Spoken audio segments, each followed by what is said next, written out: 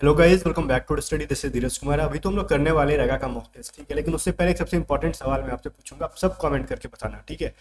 मैं आपसे ये पूछना चाहता हूँ कि अभी आपने किस ग्रुप से एयरफोर्स की फॉर्म फिलअप की है और आपके मॉक टेस्ट में कितने स्कोर आ रहे हैं?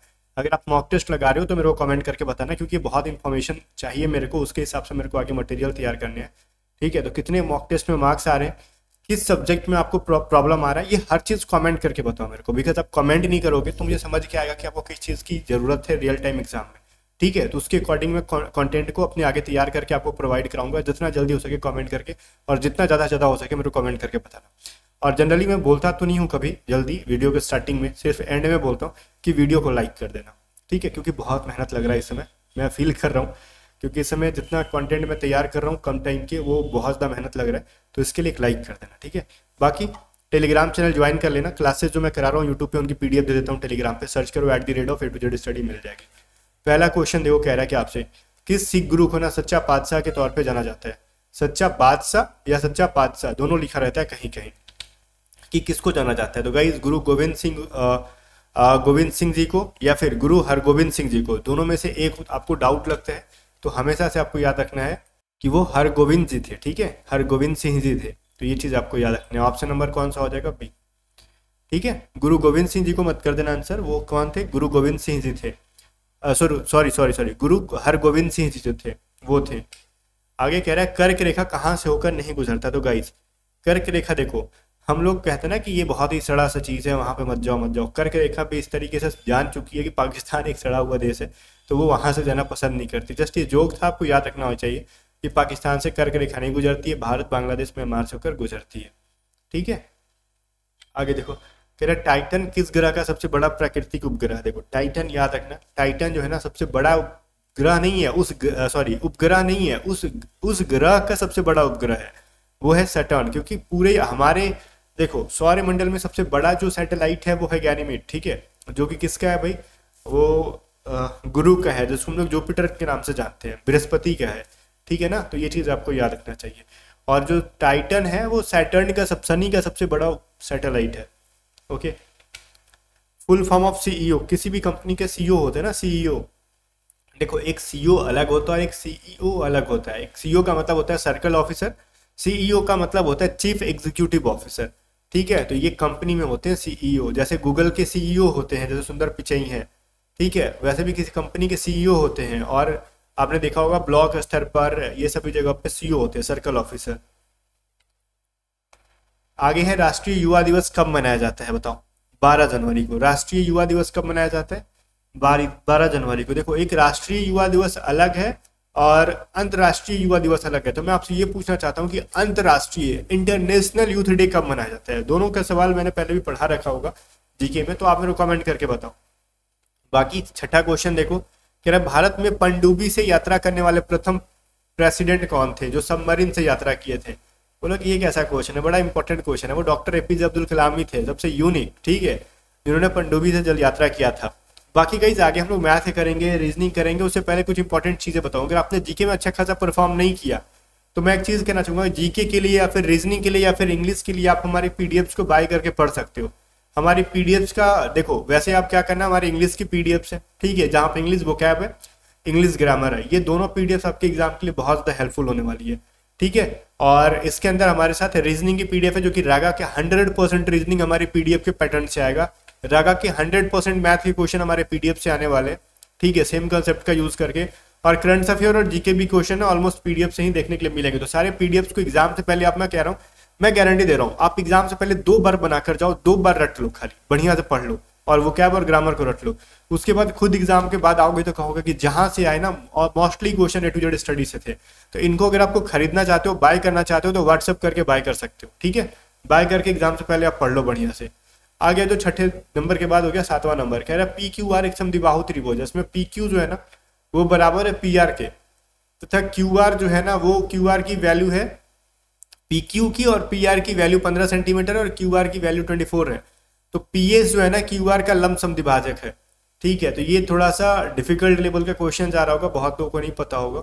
ठीक है, ये जो पी एस है ना, वो क्यू आर का लम संधिभाजक मतलब इसके ऊपर एक परपेंडिकुलर भी डाला हुआ और बाइसेक्टर भी है ये। तो पी एस की वैल्यू कितनी हो जाएगी, ये चीज़ बताओ। देखो, मैं इसको समझाता हूँ। पहले वैल्यू पुट करते हैं।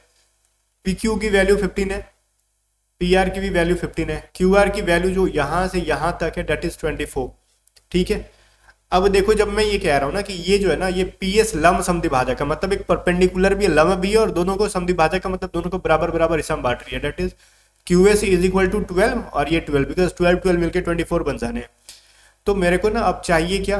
पी एस की वैल्यू बता दो। तो ये पी एस बराबर क्या हो जाएगा भाई? सिंपल सा लॉजिक है, इसमें दो ट्राइंगल्स बन गए अब मेरे पास। मैं किसी एक ट्राइंगल को लेके ऐसे निकाल सकता हूँ। P S Q is equal to क्या हो जाएगा? ये फिफ्टीन हो जाएगा, ये ट्वेल्व हो गया और ये हमारा वाट हो गया। चाहे आप राइट को ले लो या फिर लेफ़्ट को ले लो, किसी का भी ले लो, बतिया वही होने वाला है। तो ये हमको हाइपोटीनियस पता है तो हाइपोटीनियस माइनस क्या हो जाएगा? स्क्वायर करेंगे तो बेस का स्क्वायर पी बराबर यही होता है ना? पी इज़ इक्वल टू कितना हो जाएगा? पंद्रह का स्क्वायर माइनस बारह का स्क्वायर दो सौ पच्चीस, एक सौ चौवालीस। घटा लो, जो वैल्यू आ जाएगा, आपका वही आंसर हो जाएगा इक्यासी। That is nine option number D हमारा सही है। तो कहोगे क्या ये मैंसुरेशन है? आ, तो मैंसुरेशन का ही तो कॉन्सेप्ट यूज़ किया। ज्योमेट्री का तो हमने कुछ किया ही नहीं इसके अंदर। तो ये ज्योमेट्री से मत समझ जाना इसको। ये मैंसुरेशन का ही क्वेश्चन है। तो इसको ज्योमेट्री मत कहना कि ज्योमेट्री है ज्योमेट्री नहीं। हमने मैंसुरेशन का पूरा कॉन्सेप्ट यूज़ किया कुछ भी ज्योमेट्री यूज़ नहीं किया। कोई भी हमने ट्राइंगल के प्रॉपर्टी का यूज़ नहीं कर रखा ठीक है? चलो। फिर कह रहा है कि एक सीढ़ी ज़मीन के साथ थर्टी डिग्री के कोण पर दीवार से ज़मीन पर रखी जाती है। दीवार की ऊंचाई अगर फोर्टीन मीटर है तो सीढ़ी की लंबाई का पता करो। देखो, कोई भी सीढ़ी आप ऐसे नहीं रखते हो। सीढ़ी ऐसे रखी जाती है।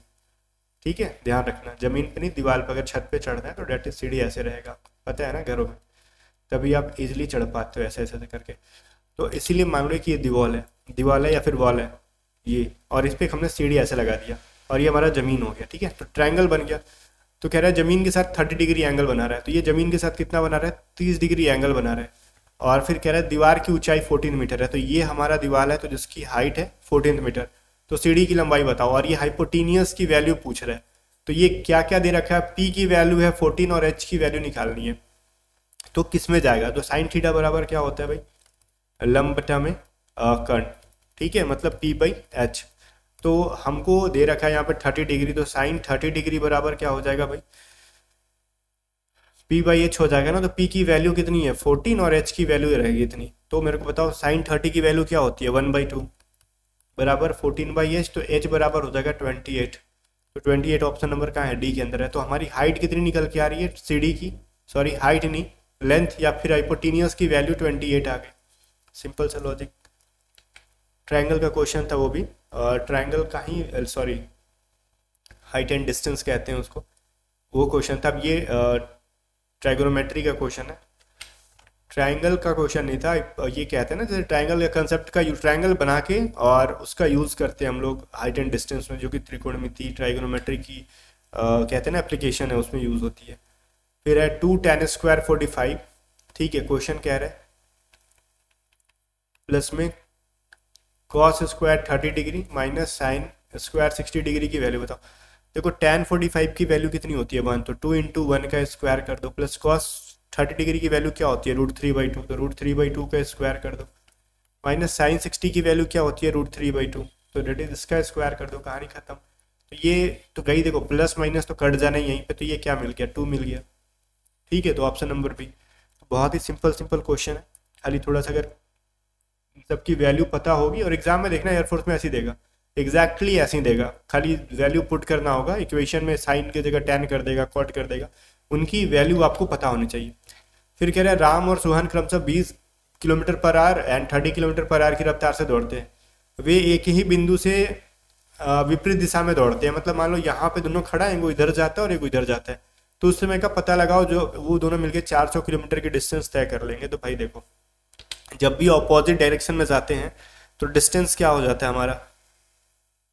क्या उस समय का पता लगाओ ना तो डिस्टेंस बराबर होता है स्पीड इनटू टाइम अब मेरे को एक बात बताओ जब दोनों एक दूसरे से आ, क्या कह रहे हैं ना अलग अलग डायरेक्शन में जा रहे हैं तो उस समय हम लोग क्या करते हैं? हम लोग रिलेटिव स्पीड निकाल लेते हैं। या फिर इसका अलग भी फॉर्मूला है रिलेटिव स्पीड से अगर आपको नहीं बनाना हो तो दूसरा मेथड से बना सकते हो। लेकिन रिलेटिव स्पीड की मदद से ना ये इजिली बन जाएगा हमसे बहुत कम टाइम के अंदर बन जाता है। ठीक है? तो जब दोनों अलग अलग डायरेक्शन में जा रहे हैं तो दोनों का स्पीड ऐड हो जाता है। यही ना हो जाता है इंटू टाइम हो जाएगा। तो डिस्टेंस 400 किलोमीटर है। स्पीड 20 प्लस 30 हो जाएगा।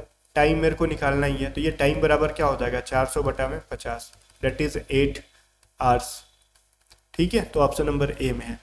अदरवाइज़ टाइम बराबर होता है डिस्टेंस बटा स्पीड ठीक है? तो बतिया वही हुआ कुल मिला के। तो रिलेटिव स्पीड आपको पता होना चाहिए। तो रिलेटिव सापेक्ष गति क्या होती है? जब दोनों डिफरेंट डायरेक्शन में जाएँगे तो दोनों की स्पीड ऐड हो जाती है। दोनों सेम डायरेक्शन में जा रहे हैं कहीं तो दोनों की स्पीड माइनस हो जाती है। फिर कह रहा है पी क्यू आर की आयु का योग जो है ना फिफ्टी सेवन ईयर्स है। क्यू जो है पी से तीन गुना बड़ा है। सबसे पहले जो लिख रहा है यहाँ पे क्यू जो है पी से तीन गुना बड़ा है और आर पी से बारह गुना बड़ा है। बारह वर्ष बड़ा है, बारह वर्ष बड़ा है। ठीक है, बारह गुना नहीं, बारह वर्ष बड़ा है। तो क्यू और आर की आयु के बीच का अंतर बताओ। देखो, सबसे पहले इसके अंदर क्या दे रखा है, ये चलो बताओ। पी क्यू आर एस जो दे रखा है उनको साइड करो। सबसे पहले क्या करना कि देखो क्यू जो है ना पी से तीन गुना बड़ा है।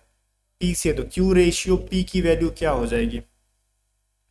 आ, क्या तीन गुना बड़ा है ना क्यू तो थ्री रेशियो वन हो जाएगा। फिर क्या रहा है यहाँ पे? आर जो है ना पी से बारह वर्ष बड़ा है। तो आर माइनस पी बराबर इसकी वैल्यू बारह आनी चाहिए क्योंकि आर बड़ा है पी से बारह साल तो दोनों के बीच का डिफरेंस बारह साल का है। तो हमने इस तरीके से निकाल लिया। और थर्ड कंडीशन क्या रहा से पी क्यू आर तीनों की वैल्यू फिफ्टी सेवन ईयर्स है। तो मान लो यहाँ से मेरे को क्या मिल के आ रहा है? तो q बराबर थ्री एक्स पी बराबर एक्स ये हो गया। ठीक है? तो मैंने यहाँ से रख दिया, p बराबर इतना इतना इतना इतना। तो मैं यहाँ से ना समथिंग समथिंग वैल्यू निकालने की कोशिश करूँगा तो आराम से बन जाएगा। ठीक है? देखो दूसरा तरीका है या फिर इसी तरीके में हम लोग और शॉर्टकट यूज़ करते हैं। शॉर्टकट कैसे यूज़ करेंगे मैं बताता हूँ। मैंने यहीं पे, देखो, इस वाले के अंदर ही मेरे को कुछ कर देना है। जैसे यहाँ पे मैं आर बराबर लिख सकता हूँ ना, बारह प्लस पी आगे आंसर हमारा। तो देखो, अब ये क्या हो गया भाई? बारह प्लस पी तो यहाँ पे पी की वैल्यू हमने क्या माना है? एक्स तो मैं इसको लिख सकता हूँ ना? आर बराबर बारह प्लस एक्स तो इसी के अंदर मैंने कुछ कर दिया। अलग से कुछ लॉजिक नहीं लगाया। तो मैं अब यहाँ क्या करूँगा? पी क्यू आर की वैल्यू निकालता हूँ। पी की वैल्यू क्या है? एक्स क्यू की वैल्यू थ्री एक्स आर की वैल्यू बारह प्लस एक्स मैं यहीं पे सबकी रख दूँगा। पी बराबर है हमारा एक्स क्यू बराबर थ्री एक्स और आर बराबर twelve plus X is equal to fifty seven that is चार एक पाँच एक्स प्लस बारह बराबर फिफ्टी सेवन और फाइव एक्स बराबर क्या हो जाएगा? बारह माइनस होगा फोर्टी सेवन तो एक्स बराबर हो जाएगा नाइन। आगे हमारा एक्स बराबर नाइन तो क्यू बराबर थ्री एक्स था ना हमारा तो मतलब थ्री इंटू नौ बराबर सत्ताईस। पी बराबर हमारा कितना था भाई? एक्स तो मतलब नौ। और आर बराबर हमारा क्या था? बारह प्लस एक्स। मतलब बारह प्लस नौ बराबर इक्कीस। तो हमसे क्यू माइनस आर की वैल्यू पूछ रहा है तो क्यू बराबर है कितना? Twenty seven. आर बराबर इक्कीस डेट इज़ सिक्स ईयर्स ठीक है, ऑप्शन नंबर बी। अब हमने यहाँ पे कुछ भी डिफ़िकल्ट मेथड नहीं लगाया। हमने सिर्फ़ बेसिक सा कैलकुलेशन किया जो कि जितना स्पीड कर लोगे उतना जल्दी बनेगा। अदरवाइज़ अदरवाइज़ ये क्या होगा? कॉम्प्लिकेटेड हो जाएगा आपके लिए। थोड़ा सा स्पीड मेंटेन करने की ज़रूरत पड़ेगी आपको यहाँ पे। फिर कह रहा है ए किसी काम को इक्कीस दिन में कर सकता है। बी उससे चालीस परसेंट कुशल है। तो बी द्वारा उसी काम को अकेले समाप्त करने के लिए अपेक्षित कितने दिन लगेंगे? देखो ए रेशियो बी अगर निकालेंगे एफिशिएंसी के तो बी चालीस परसेंट परसेंट अधिक कुशल है तो ये हंड्रेड रेशियो एक सौ चालीस हो जाएगा ना। तो फाइव रेशियो सेवन हो जाएगा हमारा ए रेशियो भी। तो ये क्या लो ना कि देखो ए ट्वेंटी वन डेज़ में कह रहे हैं मतलब ए इक्कीस दिन में कर सकता है पाँच एफिशिएंसी के साथ। हमने टाइम एंड वर्क में एक फार्मूला पढ़ा था। Efficiency one into D one is equal to efficient two efficiency two into D two तो ए की एफिशिएंसी कितनी है? फाइव यूनिट है और वो इक्कीस दिन में काम खत्म कर रहा है। तो बी कितने दिन में खत्म करेगा भाई? तो बी की एफिशिएंसी सेवन यूनिट है तो ये मान लो डी टू डेज़ में खत्म करेगा तो सात आई केस तो डी टू बराबर फिफ्टीन डेज़ तो बी जो है ना, वो पंद्रह दिन के अंदर काम को निपटा लेगा। तो मेरे हिसाब से ये तरीका बहुत बेटर है। बिना बेसिक से गए, कहते ना, दो से तीन लाइन में कहानी हो जाएगा आपका। अगला क्वेश्चन देखो, इसको कैसे सॉल्व करें? Under root zero point two three zero four plus में under root zero point one seven six four और divided by under root two लिख दिया ज़ीरो लिखना था। मैं इधर लिखता हूँ बिकॉज़ इनका मैं भी परिमेयकरण करने की नौबत आ जाए। ठीक है? ये मैंने यूट्यूब पे फ्री क्लासेस में मैं करा रहा था ना जब बेसिक से। तो बच्चे ने इंटरेस्ट नहीं लिया तो सारी मैथ की क्लासेस मेरे को बेसिक कंसेप्ट बंद करनी पड़ गई। बिकॉज़ बच्चे इंटरेस्ट ही नहीं ले रहे तो पढ़ाने का कोई मतलब नहीं बनता है। ये ऐसे क्वेश्चंस को बनाने में कितना आपको हेल्प मिल रहा होगा अगर वो कॉन्सेप्ट पढ़े होगे तो? हम लोग क्या करेंगे इसका? इसके लिए मैंने जब भी देखो बताया था ना कि under root A plus under root B divided by same cheese under root A minus under B under root B हो तो ऐसे क्वेश्चन को बनाने के लिए two into A plus B बटा में ए माइनस बी का यूज़ करते हैं। ठीक है, अब रूट को भूल जाते हैं तो टू इंटू क्या हो जाएगा? Zero point two three zero four plus में zero point one seven six four divided by zero point two three, zero four minus zero point one seven six four का यूज़ कर लो। क्या मिल जाएगा मेरे को इसके अंदर? जोड़ घटाव करने के बाद तो ये मेरे को मिल जाएगा ज़ीरो छः में चार, दस में से छः छः गया, चार हो जाएगा, और ये बारह में सात गया, चार हो जाएगा। तो ज़ीरो पॉइंट ज़ीरो पॉइंट मेरे को मिल गया चार, zero six, eight divided by, ठीक है? और ये मेरे को मिल जाएगा zero point zero five four. अब इनको आप दो से मल्टीप्लाई कर लो तो ये मेरे को मिल जाएँगे। अच्छा यहाँ से ये कटेगा क्या? चार दूनी आठ, पाँच। इससे ये डिवाइड नहीं होगा, नहीं? चार दूनी आठ, फिर हो जाएगा पाँच दूनी दस और एक ग्यारह। यहाँ से ये डिवाइड नहीं हो रहा। अच्छा ठीक है, मैं कैलकुलेटर का यूज़ करता हूँ बिकॉज़ मेरे पास रफ करने की जगह भी नहीं है, ठीक है? मैं विद इन अ सेकेंड इस कैलकुलेटर का यूज़ कर बिकॉज़ ये कॉम्प्लिकेटेड हो रहा है मेरे लिए थोड़ा अभी। थोड़ा रफ करने का जगह रहता है तो बन जाता है। तो लगभग ये फाइव पॉइंट फाइव थ्री के लगभग आ रहा है ठीक है? मतलब टू इंटू कितना हो जाएगा? सेवन पॉइंट फाइव थ्री के लगभग आ रहा है। डेट इज़ पंद्रह पॉइंट ज़ीरो सिक्स ये पंद्रह के करीब में आ रहा है ऑप्शन तो ऑप्शन नंबर डी हम आंसर कर सकते हैं। ये अप्रॉक्स में आंसर आ रहा है तो इसको अप्रॉक्स में आप आंसर कर सकते हो। आगे देखते हैं फोर्टीन नंबर क्वेश्चन क्या कह रहा है हमारा? थोड़ा डिफ़िकल्ट क्वेश्चन था वो। डिफ़िकल्ट नहीं था कैलकुलेशन डिफ़िकल्ट था। बाकी ये तो तरीका इजी ही था। ये अपने मासिक वेतन का 20 प्रतिशत बचाता है। यदि उसका मासिक वेतन व्यय जो है ना, खर्च उसका छः हज़ार है तो उसकी मासिक बचत कितनी है? तो ऐसे क्वेश्चन को बनाने का क्या तरीका है? तो खुद से मतलब सोचो कि अगर वो बीस परसेंट सेव कर रहा है तो एटी परसेंट खर्च कर रहे है। और खर्च कर रहा है कितना? वो छः हज़ार। तो मान लो उसके इनकम का एटी परसेंट खर्च कर रहा है तो eighty percent is equal to six thousand तो ये ठीक है। तो अगर हम कटाएँगे तो कट जाएगा। क्या ये इससे? चार, एक ज़ीरो ज़ीरो कटा लो ना यहाँ से, फिर चार के टेबल से दो बार में, ये पच्चीस बार में, देन ये तीन बार में कट जाएगा। तीन सौ। तो इनकम कितना हो जाएगा? पचहत्तर हज़ार। पच्चीस या पचहत्तर सौ। ठीक है? तो कह रहे हैं उसका मासिक बचत बचा लो। तो भाई इनकम हमारी क्या है? इंक, आ, सेविंग बराबर क्या हो जाती है? यहाँ मैं लिख रहा हूँ। इनकम में से क्या करोगे आप? एक्सपेंस ख़त्म कर लो घटा लो। तो इनकम पचहत्तर हज़ार पचहत्तर सौ है। वैसे तो मुँह जुबानी में बोल दूँ लेकिन समझाने के लिए मैं लिख रहा हूँ इसको पंद्रह सौ।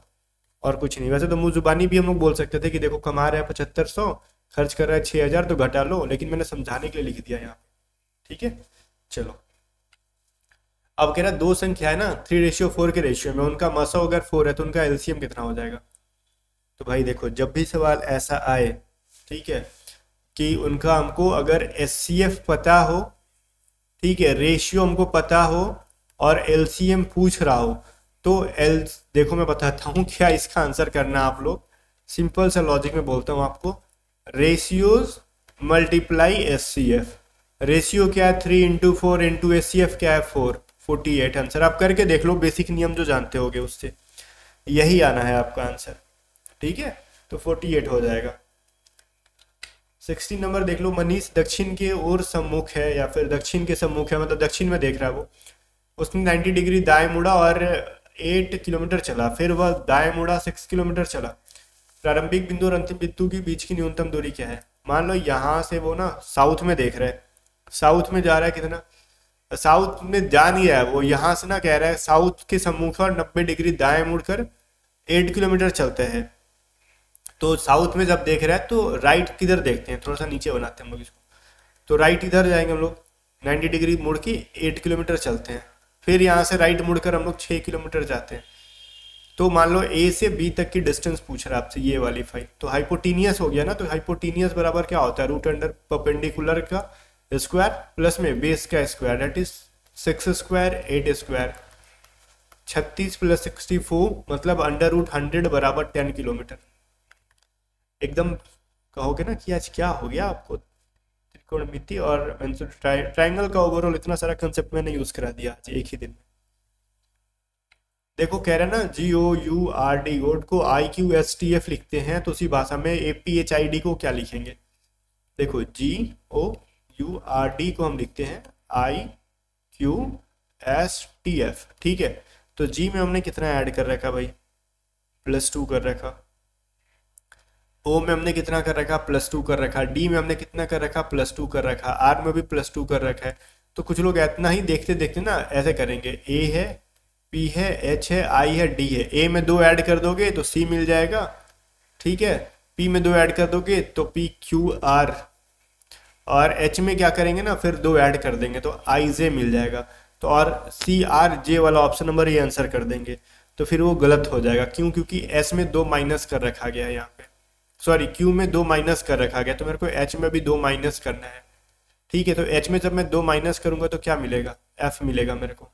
फिर आई में दो ऐड करना है, फिर डी में दो ऐड करने का है। तो जे के डी है ई एफ़ तो मेरे को ये मिल जाएगा। ठीक है? सी आर एफ़ के एफ़ ऑप्शन नंबर सी मिलेगा। तो कोई जल्दीबाजी नहीं होनी चाहिए, आराम से पढ़ो चीज़ों को। देखना, बीच वाले में ना बस कंफ्यूजन क्रिएट करने के लिए कर रखा गया। बीच में दो माइनस बाकी आगे पीछे दो दो की दो प्लस ऐड कर रखा। एटीनथ नंबर देखो। पंद्रह का और चार का वैल्यू टू फोर्टी वन आ गया। तो कुछ लोग कहेंगे ठीक है, चलो, पंद्रह का स्क्वायर दो सौ पच्चीस और चार का क्या होता है? स्क्वायर सोलह होता है। तो ऐड कर दोगे टू फोर्टी वन आ जाएगा। ठीक है? और हम लोग यहाँ पे ये कर रहे हैं। उसी प्रकार नौ का स्क्वायर कितना होता है? इक्यासी। सात का स्क्वायर कितना होता है? फोर्टी नाइन एक सौ तीस हो गया। उसी तरीके से बीस का स्क्वायर कर दोगे, चार सौ। और आठ का स्क्वायर कर दोगे सिक्सटी फोर तो चार सौ चौंसठ हो गया। तो कुछ लोग कहेंगे ऑप्शन नंबर सी सही सही है, लेकिन गाइस ये बिल्कुल भी सही है। ठीक है, इसमें कोई डाउट नहीं है। आगे बढ़ते हैं। नाइनटीन नंबर क्वेश्चन देखो। कह रहा ना कि देखो, अगर माइनस का मतलब प्लस है प्लस का मतलब माइनस है मल्टीप्लाई का डिवाइड है डिवाइड का मतलब मल्टीप्लाई तो इस इक्वेशन के अंदर अगर हम वैल्यू को चेंज कर देंगे तो क्या आंसर आएगा? कह रहा ना कि मल्टीप्लाई का मतलब डिवाइड है। प्लस का मतलब क्या है? माइनस है। फिर माइनस का मतलब क्या है? प्लस है और फिर क्या हो जाएगा भाई? डिवाइड का मतलब मल्टीप्लाई है और प्लस का मतलब क्या है? माइनस है। तो नौ एकम एक, नौ दुनिया अठारह। तो बारह माइनस चार, चौदह, प्लस तीन दूनी छः माइनस चार। तो ये कितना हो जाएगा? बारह छ अठारह। माइनस कितना हो जाएगा भाई? अठारह। आंसर तो ज़ीरो आ गया। ज़ीरो तो है ये ऑप्शन में, फिर क्या दिक्कत है? मेरे को लगा ज़ीरो नहीं है और आंसर कैसे ज़ीरो आ गया? ज़ीरो भी ऑप्शन में है। आगे बढ़ते। ट्वेंटी नंबर कह रहा है, देखो dash O B dash L M O dash I L M dash B I L ठीक है? तो ये हमारा आंसर हो गया। ठीक है? आंसर नहीं हो गया क्वेश्चन हो गया। तो फिर बीच में क्या फिल करना है? तो एक, दो, तीन, चार, पाँच, छः, सात, आठ, नौ, दस, ग्यारह, बारह, तेरह, चौदह, पंद्रह है ना? तो पाँच पाँच के फॉर्म में इसको चेंज बांट दो। जब मेरे को पंद्रह दिख रहे हैं तो पाँच पाँच में मैंने इसको बांट देना है। तो मेरे को दिख रहा है, इन दोनों की शुरुआत एम से हो रही है तो मैंने भी यहाँ पे एम फिल कर देना तो मेरे को एम के बाद वहाँ भी दिख गया एम के बाद यहाँ भी ओ दिख गया तो मैं भी यहाँ पे ओ दिख, मैं फिल कर दूँगा। और फिर लास्ट में मेरे को बी आई एल दिख रहा है। तो मैं यहाँ पे भी लास्ट में बी ऐड कर देना, और यहाँ पे बी के बाद आई एल कर देना है। तो मैंने ओ कर दिया आई कर दिया बी एंड ओ मीबो मीबो वेयर इज़ दिस मीबो ऑप्शन नंबर एक के अंदर है मीबो ठीक है? चलो। ट्वेंटी वन नंबर क्वेश्चन क्या कहता है? सिक्स के बाद ट्वेंटी यार वाइट वाइट आ रहा है। सिक्स के बाद ट्वेंटी टू है नाइन्टी टू है what two seven eight eight ये वैल्यू बहुत बड़ी दिख रही है। ठीक है तो कुछ ना कुछ मल्टीप्लाई कर रखा गया है स्क्वायर क्यूब कर रखा गया, कुछ ना कुछ ये है। कुछ सिंपल सा चीज़ नहीं जोड़ा गया भाई। कुछ मल्टीप्लाई किया गया, तभी जाके इतनी छोटी सी टर्म्स में इतनी बड़ी वैल्यू मिल रही है मेरे को। तो ऐसा खुद से एज्यूम कर लेना। तो सिक्स से में क्या किया गया? तो मैं बोल रहा हूँ छः में मैं तीन से मल्टीप्लाई करूँगा तो ये काफ़ी करीब आ जाएगा। छः से मैं चार से मल्टीप्लाई करूँगा तो काफ़ी करीब आ जाएगा ट्वेंटी टू के। तो या तो इसमें आप अठारह में क्या करोगे? चार ऐड कर दोगे तो बाईस मिल जाएगा, या फिर इसमें आप टू माइनस कर दोगे तो बाईस मिल जाएगा। तो क्या बाईस में भी वही काम करेंगे? तो बाईस में या तो आप तीन से मल्टीप्लाई कर लो या फिर बाईस में चार से मल्टीप्लाई करो। तीन से मल्टीप्लाई करेंगे तो मैं चार ऐड करूँगा, ठीक है? और मैं बाईस में चार से मल्टीप्लाई करूँगा तो मेरे को क्या करना होगा भाई? नाइन्टी टू आना चाहिए था मेरे पास तो जो कि नहीं दिख रहा है मेरे को। ठीक है तो चार से मल्टीप्लाई करके फिर मेरे को नाइन्टी टू बनाना है तो क्या करना होगा भाई? तो इसके अंदर इस हिसाब से जाएँगे तो माइनस मेरे को टू करना पड़ेगा, जो कि आंसर सही नहीं आ रहा है। चलो ठीक है, ये लॉजिक नहीं है बट एक दूसरा लॉजिक मेरे को दिख गया। मैं दोनों को लेके चल रहा था। मेरे को ना एक एक स्टेप आगे बढ़ते जाना है। क्या करना है? वैसे मेरे को आंसर पता है, मैं आपको कंफ्यूज कर रहा हूँ, ठीक है? क्योंकि मैंने क्वेश्चन बताया तो मेरे को पता होना चाहिए ना, मैं आपको सिखा रहा हूँ कि जब भी चीज़ें ऐसे ना बने तो इस तरीके से करना, क्योंकि क्वेश्चन ही मैंने सेट किया तो मेरे को तो पता ही रहेगा ना। जस्ट ये सारी चीज़ें मैं आपके लिए करता हूँ, ताकि आप सीखो जब भी चीज़ एक बार में ना हो, इस सारे मेथड से ना काम करो तो फटाक से मूव ऑन करने का दूसरे पे। सिक्स इंटू थ्री एटीन हुआ। एटीन में क्या ऐड कर दिया हमने? बाईस आ गया। अभी देखो मैंने थ्री से भी मल्टीप्लाई किया, जो कि नाइन्टी टू के करीब नहीं किया तो मेरे को बाईस में फोर से मल्टीप्लाई कर देना। ये नाइन्टी टू के करीब तो नहीं किया, बट उससे काफ़ी करीब आ गया। तो मेरे को इस बार कितना ऐड करना है इसके अंदर? इसमें फिर से मैं फोर ऐड कर दूँगा, नाइन्टी टू आ जाएगा। मतलब मेरे को फोर फोर ही ऐड करना है और थ्री फोर इस तरीके से कंटिन्यू आगे की तरफ़ बढ़ना है। तो मैं इस बार नाइन्टी टू में फाइव से मल्टीप्लाई कर दूँगा। चार सौ साठ, देन मैं यहाँ पे फोर ऐड करूँगा, चार सौ चौसठ, जो कि मेरे को ऑप्शन में मिल भी रहा है, ऑप्शन नंबर डी के अंदर। समझ में आ रहा है? तो मूव ऑन फटाक से आगे की तरफ़ बढ़ने की कोशिश किया करो, रुकना नहीं है किसी मेथड पे अगर काम ना आए तो।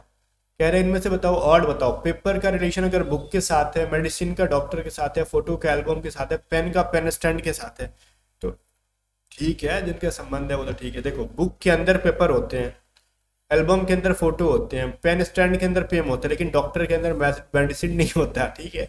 डॉक्टर अपने अंदर मेडिसिन भर के नहीं चल रहा होता भाई। तो ये सबसे डिफरेंट है। ट्वेंटी थ्री देखो, कह रहा है ऑर्डर को अगर हम ये लिखते हैं मैटर को अगर ये लिखते हैं तो रोड को क्या लिखेंगे सिंपल सा लॉजिक है भाई।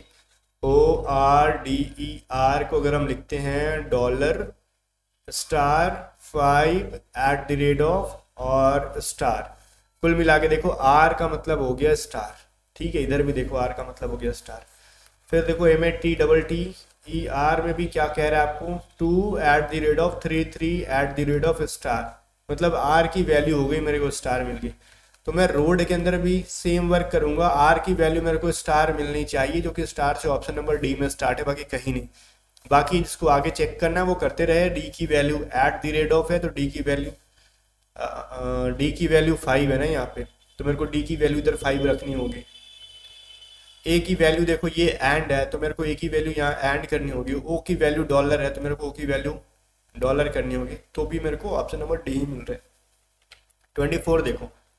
ये ऑप्शन हैं A B C and D कह रहे ना एंट बी एंड इंसेक्ट्स मधुमक्खी, चीटी चीटी, मधुमक्खी और कीट के अंदर क्या, कौन सा रिलेशन है? देखो, चाहे हो वो चीटी, चाहे वो मधुमक्खी, दोनों के दोनों क्या, एक प्रकार के कीट हैं इंसेक्ट्स हैं। तो ये दोनों इसके अंदर आएँगे बट चीटी और बी एक ही चीज़ नहीं होती, वो डिफरेंट चीज़ें होती हैं। इस हिसाब से ऑप्शन नंबर सी हमारा आंसर सही है। ठीक है भाई, आगे बढ़ते हैं। पच्चीस नंबर बताओ जब लक्ष्मी ने महेश को देखा, ठीक है, चलो, कोई दिक्कत नहीं है। तो उसने कहा, वह, मेरे पुत्र के पिता के ससुर का पुत्र है। तो महेश लक्ष्मी से किस प्रकार संबंधित है? चलो, लक्ष्मी को करते हैं। लक्ष्मी ने महेश को देखा तो क्या कहा? वह, मेरे पुत्र के पिता। तो मतलब लक्ष्मी के, का जो पुत्र है, उसका पिता कौन? लक्ष्मी के हस्बैंड थी।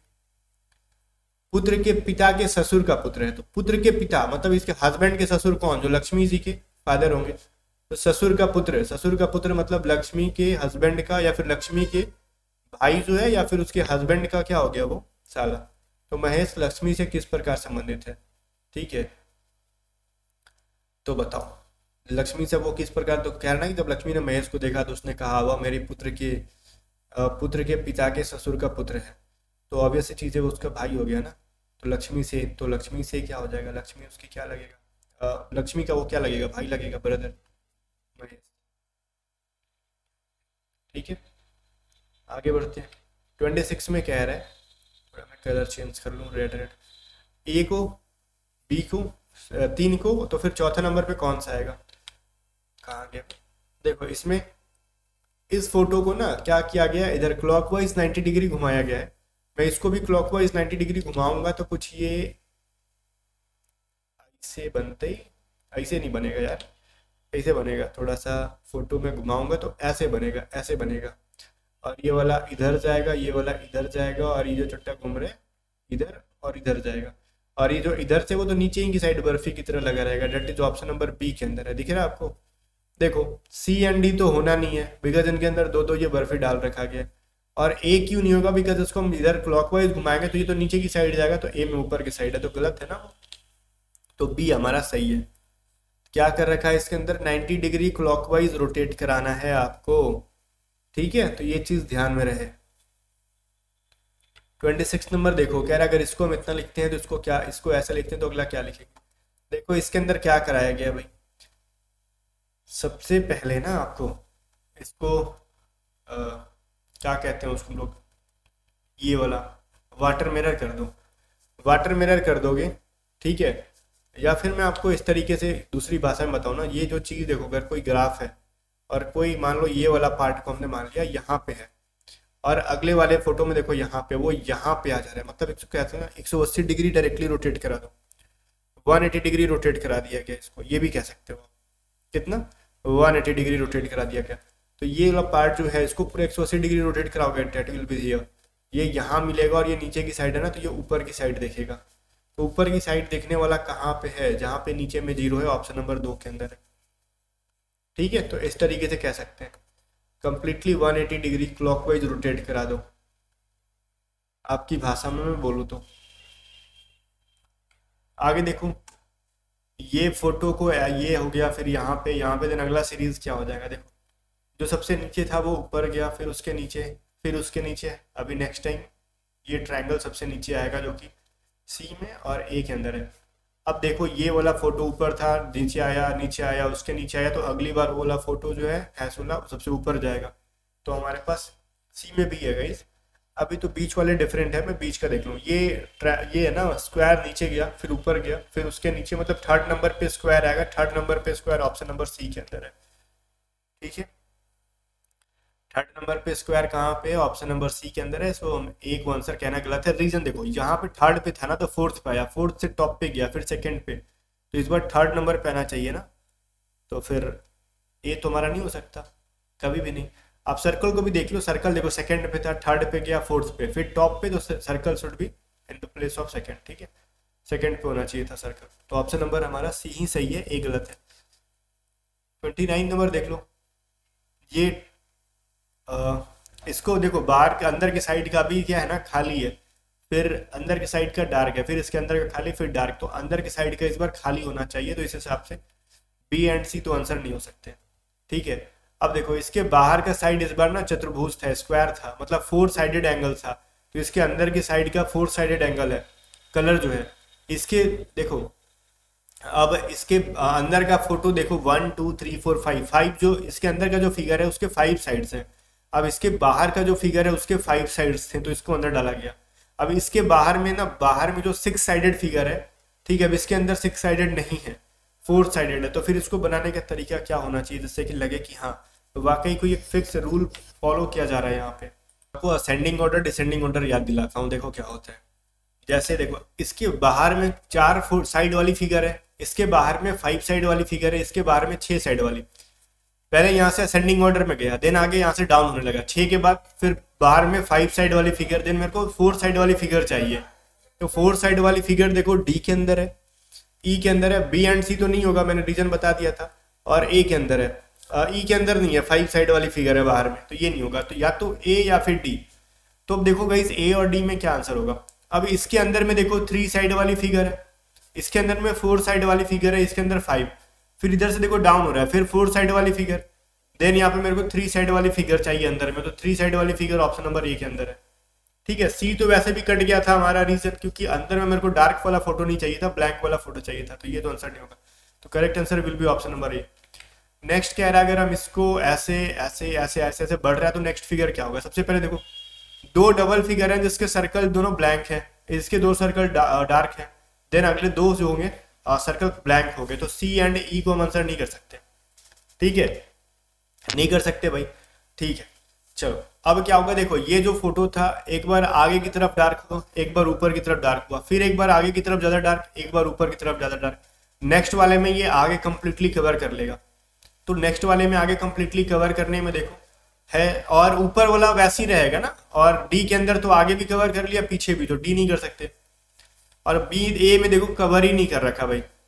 तो ये भी नहीं होगा। तो correct answer option number B हो रहा ना, आगे की तरफ़ कर रखा गया। बाकी अदर मेथड और देखते हैं। तो इसका देखो सर्कल ऊपर था, इसका नीचे, इसका ऊपर, इसका नीचे, इसका ऊपर देन हमारा नीचे वाला सर्कल होगा और ब्लैंक सर्कल होगा। सॉरी डार्क सर्कल होगा तो इस बेसिस पे भी कर सकते थे। बाकी कंप्लीट फॉलो कर रहा ऑप्शन नंबर बी ही, जो भी तरीके बाकी थर्टी में से कितना आपने स्कोर किया कमेंट करके बताओ। और जाने से पहले मैं आपको बता दूँ कि सारे पीडीएफ्स का जो है ना मैं आपको याद दिला दे रहा हूँ व्हाट्सअप करके बाय करके एग्ज़ाम से पहले आप दो बार ना बना लो। रीजनिंग मैथ इंग्लिश सभी चीज़ें जीके वगैरह करंट अफेयर आप एग्ज़ाम के बाद खुद नाम लोगे कि हाँ सर सारी पीडीएफ थी ना, बहुत हेल्पफुल थी। तो व्हाट्सअप करो seven two seven nine zero four seven seven eight seven और पीडीएफ को बाय करके बनाना शुरू कर दो।